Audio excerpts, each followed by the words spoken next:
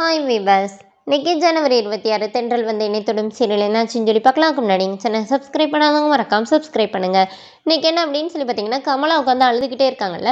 அப்போ அபிகிட்ட பேசுமா பேசுமான்னு கேட்குறாங்க பத்மா வர வாய் திறந்து பேசிடி மனசுக்குள்ளே வச்சு கஷ்டப்படாதனோடனே இப்போ அபி கேட்குறாங்க நான் ஏன் கஷ்டப்படணும்? கண்டிப்பாக என் வீட்டுக்கார் இந்த கொலையை பண்ணியிருக்கவே மாட்டேங்கிறாரு.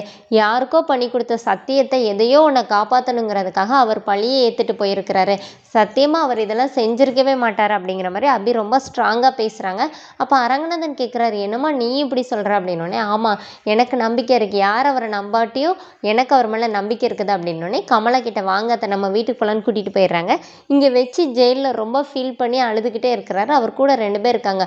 அண்ணே நீ இதெல்லாம் செஞ்சுருக்க மாட்டேனே. விடுனே அப்படின்னு சொல்லிட்டு வச்சுக்கிட்ட சொல்லும்போது வச்சு சொல்கிறார் நான் தாண்டா கொலை பண்ணேன். இந்த கையால் தான் கொலை பண்ணேன். அப்படின்னோடனே அப்போனே அவங்களாம் சொல்கிறாங்க இல்லைண்ணே நீ தள்ளி விட்டுருப்பா. அதில் எதனாச்சும் நடந்திருக்கணுன்னே நான் அவனை மட்டுமா கொலை பண்ணியிருக்கேன். என் பொண்டாட்டியை மேலே வச்சிருந்த நம்பிக்கையை அப்புறமா எங்கள் மாமா என் மேலே வச்சிருந்த நம்பிக்கை எல்லாத்தையும் இப்படி பண்ணிட்டேனே இந்த மன்னிச்சிரு அப்படின்னு சொல்லிட்டு ரொம்ப அழுறாரு.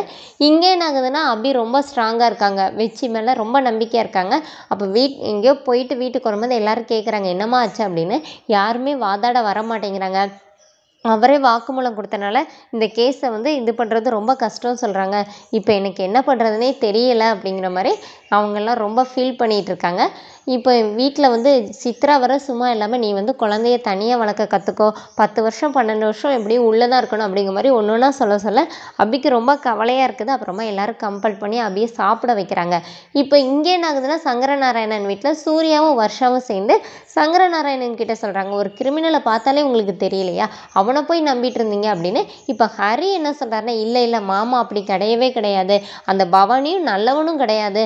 எல்லாரும் அப்படி தான் சொல்கிறாங்க எதனாச்சும் ஒரு காரணம் இருக்கும். நீங்கள்லாம் சேர்ந்து பேசுகிற மாதிரி கிடையாது மாமா அப்படின்னு. இப்போ அபி வந்து சங்கரநாராயணன் கிட்ட வந்து எனக்கு ஒரு ஹெல்ப் பண்ணணும் அப்படின்னு கேட்குறாங்க அப்போ அவர் என்ன சொல்கிறாருன்னா நீ கேட்டு நான் செய்யாமல் இருந்திருக்கிறேனாமா என்ன செய்யணும்? அப்படின்னு கேட்டோன்னே இப்போ அபி வந்து நீங்கள் தான் அவர் எப்படின்னாச்சும் இந்த கேஸில் அவருக்கு அவருக்காக வந்து வாதாடணும் அப்படின்னு சொல்லி கூப்பிடுறாங்க. சங்கரநாராயணன் என்ன பதில் சொல்ல போகிறாருன்னு தெரியல. வெயிட் பண்ணி பார்க்கலாம். தேங்க்யூ